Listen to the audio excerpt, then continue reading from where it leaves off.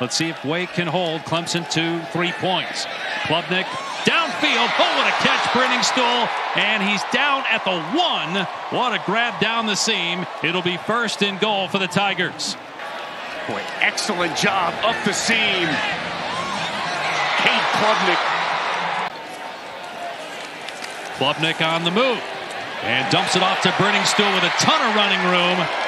And he's down to the 45 so far. We'll see if Wake Forest defensively can get a stop.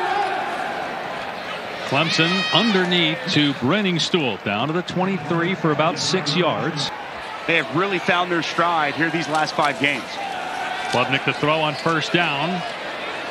Setting up the screen to Stool, And he's close to a first down. Continuing to get better and better and better. Well, it's tough to argue with what they've got going on. Oh, and here comes a double pass. Williams throwing for Briningstool on the money. Touchdown, Clemson. Well designed, beautifully executed trick play to maybe put this game away.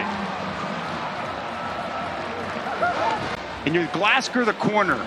As this ball is thrown over on the wide receiver screen, Glasker takes those two steps forward, just enough space for Briningstool to find open grass and an excellent throw by Antonio Williams and a walk-in touchdown.